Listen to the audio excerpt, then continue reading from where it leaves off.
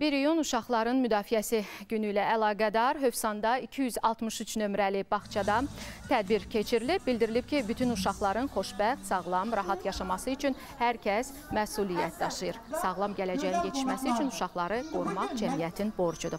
Tədbirdə balacalar şeirlər səsləndirib, rəqs ediblər.